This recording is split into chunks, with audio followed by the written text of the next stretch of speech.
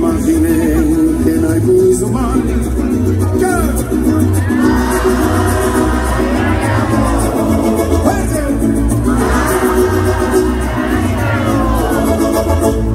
Que tarde comprendí, contigo